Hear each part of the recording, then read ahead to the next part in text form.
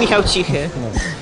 Michał Cichy, MMA.pl, ze mną Izabela Badurek przed FEN 30.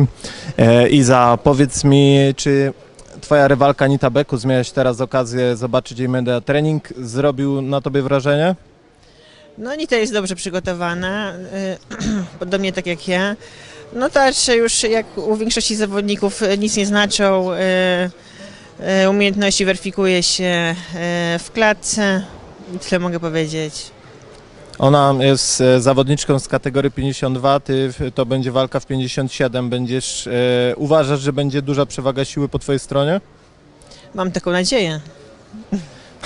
A powiedz mi, skąd taki zachrypnięty głos? Mam nadzieję, że nic cię tam nie złapało. Nie, od miesiąca prowadzę gimnastykę z elementami akrobatyki dla dzieci. Mam grupę mieszaną od 5 do 12 lat i po prostu już po pierwszym treningu mojego wrzasku wyszedł mi taki głos. A powiedz mi tak, e, jak, jak idzie zbijanie wagi? Dużo ci zostało jeszcze do zrobienia? 2,5 kilo. No w sumie chyba nie jest źle.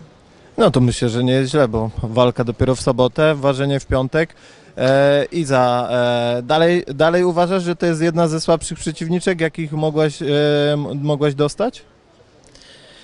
Kurczę, no dziewczyny e, są dobre w tej wadze. E, no Ani, Anita nie jest słabą przeciwniczką, tylko porównywałam na przykład do Marty Waliczak czy, e, czy podobnych dziewczyn. E,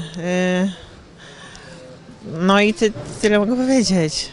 A twoje przygotowania bez, bez żadnych tam e, mankamentów, wszystko przebiegło tak, jak sobie to zakładałaś? Wszystko super, nawet lepiej niż się spodziewałam. A masz możliwość e, sparować na przykład z innymi kobietami, czy tylko robisz z mężczyznami? Mam takie dochodzące dwie dziewczyny, ale, ale częściej z chłopakami sparuję. A jakieś plany wybiegasz w, przysz- w przyszłość po tej walce, czy na razie się skupiasz na walce jedynie z Anitą?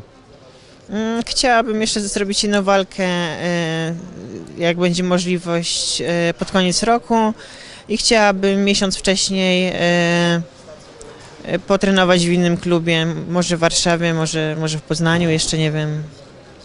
A na koniec cię zapytam, Jan Błachowicz zdobył mistrzostwo UFC, miałeś okazję oglądać, co sądzisz w ogóle o występie mistrza? Kurczę, no tak jak każdy, jestem zachwycona.